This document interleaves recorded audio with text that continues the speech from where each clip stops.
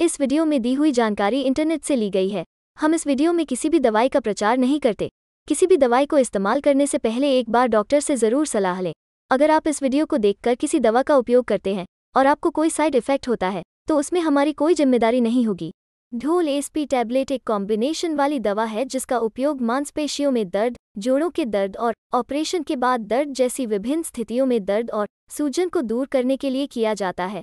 इस प्रकार, यह रूमेटॉइड अर्थराइटिस एंकिलोजिंग स्पॉन्डिलाइटिस और ऑस्टियोआर्थराइटिस जैसी समस्याओं में दर्द और सूजन को प्रभावी ढंग से कम करता है।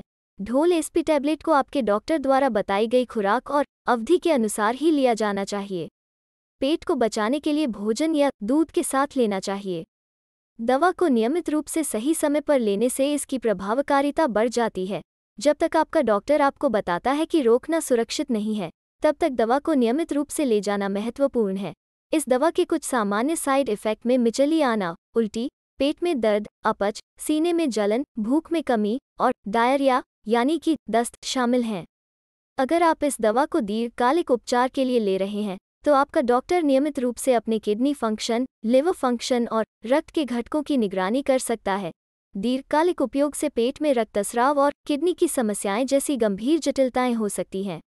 गर्भवती या स्तनपान कराने वाली महिलाओं को ढोल एसपी टैबलेट लेने की सलाह नहीं दी जाती। वीडियो को पूरा देखने के लिए धन्यवाद।